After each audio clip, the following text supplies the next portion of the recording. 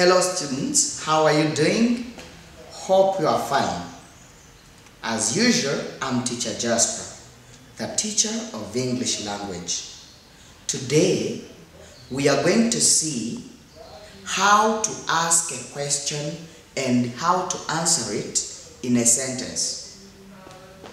Uyu munsi uko wabaza ikibazo nuko wagisubiza mu. Don't miss this lesson. Witakaza iri somo. It is very important and interesting to you. Ni iry'ingenzi kandi riri buze kugushimisha. Let's go to the board. Tujye ku kibaho. The title is this one. Uyu ni umutwe w'isomo tugiye kwiga. The title. Title ni umutwe w'ikintu runaka. Ariko umutwe w'umuntu ntabwo ari title, ni head. Title tuvuge nk'ibaruwa kugira ngo utangire kwandika ibaruwa ubanza title. This is the title of our lesson. Uyu ni umutwe w'isomo ryacu. How to ask a question and how to answer it in a sentence. Uko twabaza ikibazo nuko twagisubiza mu nteruro. For example, when I say, do you know me? Do you know me? Uranzi? Do you know me? Kugira ngo rero na speaking yawe izazamuke, ujye ugerageza gusubiramo ibyo mvuze.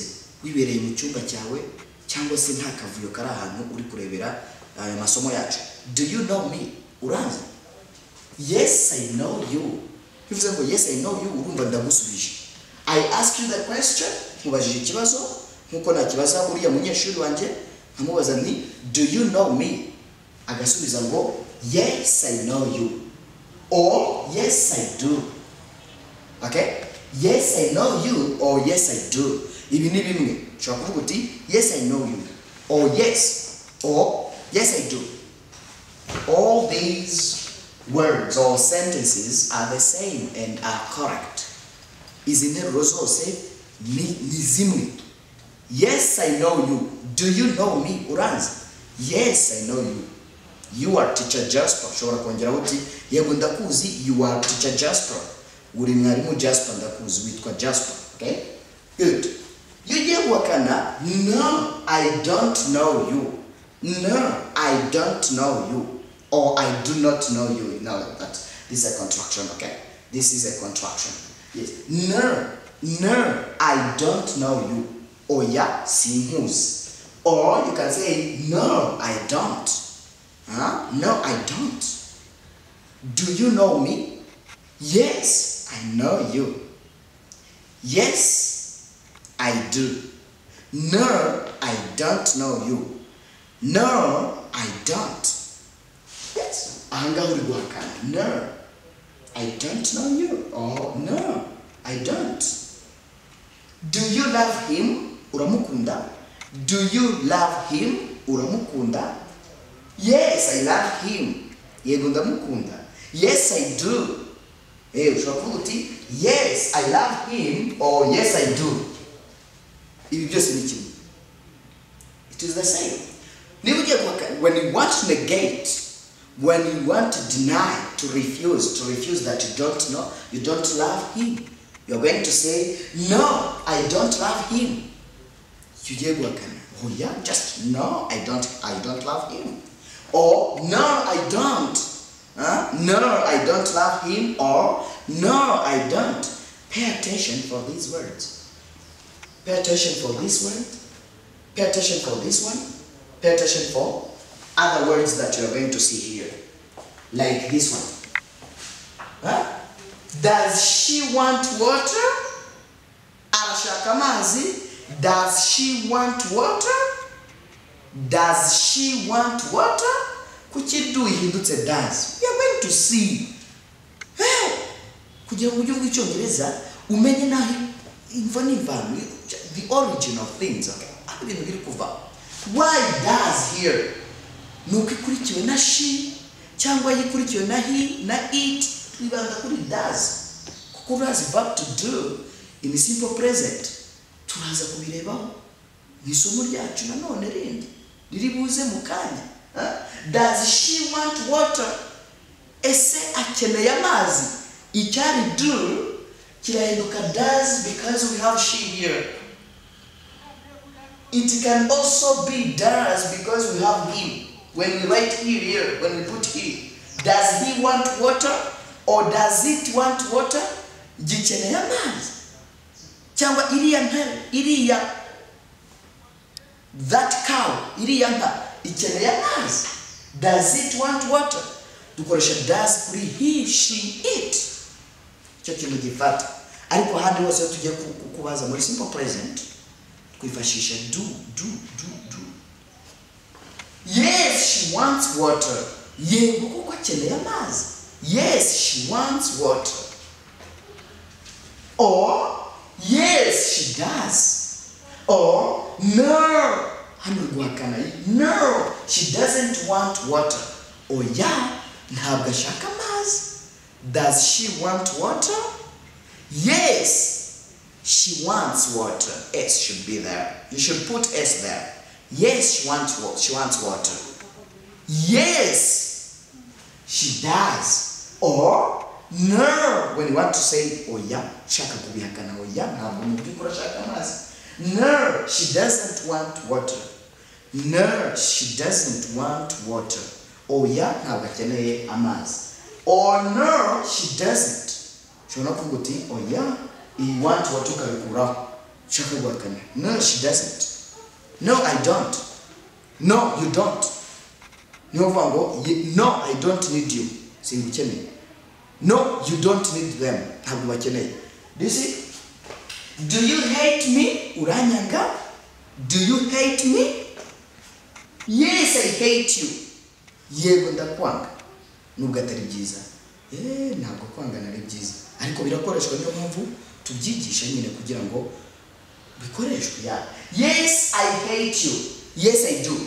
When you say yes i do niyo uvuga ngo yes i hate you. Or no i don't hate you. Oya oya oya sinkwanga oya sinkwanga no i don't hate you. Or no i don't. Ibi byose turi kwiga ni kimwe ni ukuvuga ngo nubwo bavuga ngo no i don't hate you. Or no i don't ubuhakanye kutamwanga yes i hate you.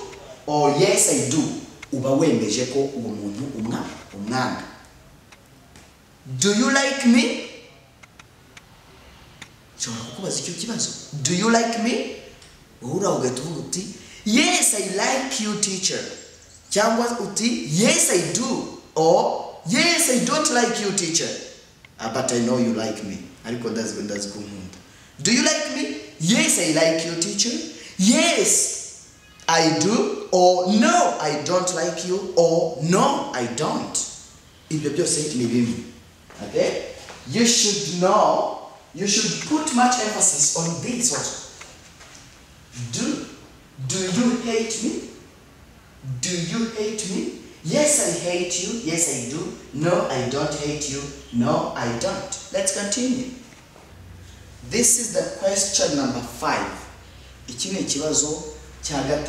question number five. Do you need me? Do you need me? Yes i need you yes i need you. Do you need me? Do nayo you should put it here. Do you need me?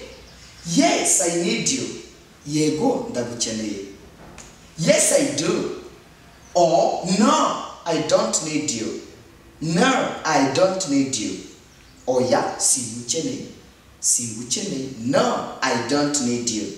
Or no i don't do you need me? Do you need teacher jasper? Wari guhita usubiza uti cyangwa urahita usubiza uti yes i need you.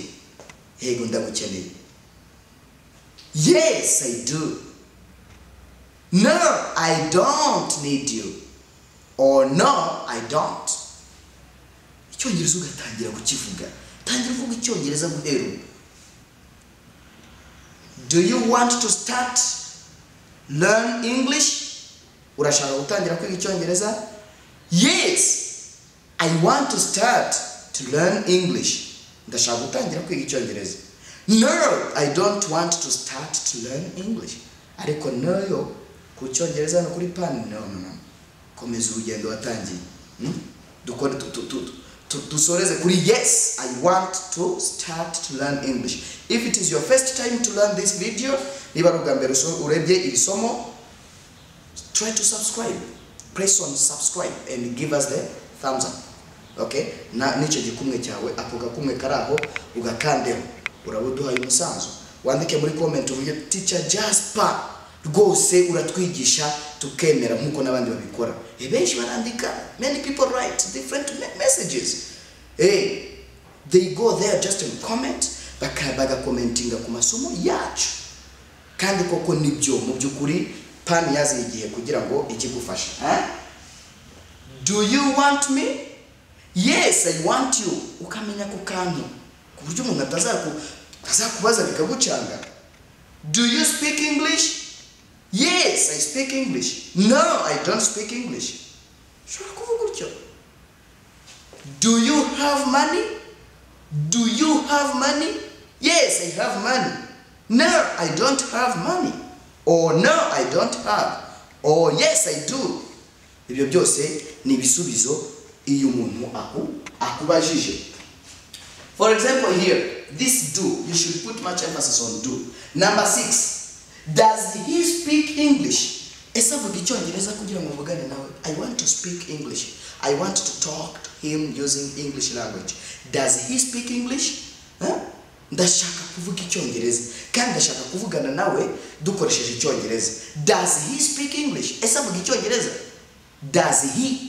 Kuko twabonye ko does. Ntabwo ari kimwe na do. Do ikoreshwa kuri ayu they okay? Na we ariko does ikoreshwa kuri he she it only. Does he speak english? Ese avuga icyongereza? Yes he speaks english. Yeah then here yes he speaks.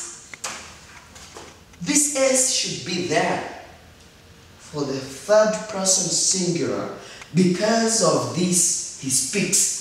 Tuti he speaks english. He speaks english. Noneho iyi speak impamvu tutashizeho s. It is because of this one. S does he speak now we can't say does he speaks english? Never. We will say does he speak akakakavaho we remove it like this. Speak. Okay? Yes he speaks english. Kubera ko does itarimo is, is not there. That's why you say yes he speaks english don't say yes he speak english he speak english. Umuntu azakumva ariko harimo agakosa buriya you put s there. Yes he speaks english. Nk'uko hano hari ahandi twabonye ariko nanone twatanga urugero. Nk'uko ugiye kuvuga ngo does she speak chinese? Avuga igishinwa. Does she speak chinese? Niba ugiye kwemeza uzavuga uti yes she speaks. Ntabwo uzavuga ngo yes he speaks. She speak ah don't say yes he speak or she speak chinese. Uh -uh. yes she speaks chinese. But when i say do you know me? Yes i know you. Do you speak english? Yes i speak. Kuko speak i ijyana na speak nyine ntabwo ijyana na s. Ntabwo twavuga ngo i speaks no. I speak you speak. He speaks she speaks. If it speaks we speak you speak they speak. Okay? Niyo mpamvu rero does he speak english? Yes he speaks english. Yes he does. Yes he does. Ibi byose ushatse bikuraho ukavuga uti yes he does. Yego avuga icyongereza cyangwa yes arakivuga yes he does. No he doesn't speak english. Okay? No he doesn't speak english. Oya oya ntabwo avuga icyongereza he doesn't ya dazi yagaruka. Dazi yagaruka bitewe n'iki bitewe n'umuvugo wa gatatu wacu he does. Eh? i do you do he does. She does it does. We do you do they do. Ubwo ni verb to do niba utariyizi cyangwa se wajyaga uyicangacanga ni uko nguko wahita ubifata i do you do he does. She does it does. We do you do they do. Iyi rero verb to do niyo iri kudufasha mu kazi kose niyo iri kudufasha muri ibi byose turi gukora. No he doesn't. No he doesn't. Ni nko kuvuga ngo oya oya oya. Ntabwo ajya avuga icyongereza. He doesn't. Ushatse wavuga ye no he doesn't speak english or no he doesn't. Let's continue. My friend i beg you i beseech you don't make this mistake when you are asking a question. Never ask a question by using this way ndakwinginze i beg you ndakwinginze i beseech you ni bimwe ndakwinginze don't make mistakes. Ntuzakora amakosa when you are asking questions. Uri kubaza ibibazo mu nteruro. Ukoreshe ubaze gutya. Many students many beginners of english language used to make this kind of mistake. Ikosa rimeze gutya. Akavuga ngo you know me? Ashaka kuvuga ngo muranzi yes my student is laughing. Ariko niko bimeze. Yes. Akavuga you know me? Yes. They use they use it. Yeah. You know me?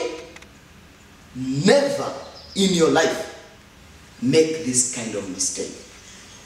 Dore ukuntu byoroshye. Put do here. Shyira akajambo do hariya. Nurangiza ushyireho you n'ubundi nk'iyari isanzwe ushyireho no you put no and me ni bwo uba ubajije do you know me? Yes you know me? This is impossible. Ahubwo hari abantu bafunga kubera ko wakoze icyongereza wavuze icyongereza nabi bagushyiramo you know me? Ah ah. You will say do you know me? Uranzi do iyi do itarimo hano byose uba do you know me? You love him. You love him? Ngo you love him? Never. Try to put do here. It is very easy like drinking water.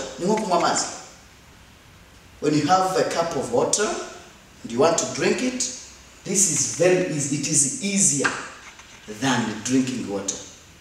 Biroroshye kuruta kunywa amazi. Yes. Say do you know me? Huh? do you? Urabona iki wongeraho do gusa ushyira utangiza do gusa ibindi bikikora sorry do you love sorry do you love him? Eh? you love him? No no no. Uramukunda? No no you, don't, don't say that. Say do you love him? Ese uramukunda. Do you love him she wants water. She wants water?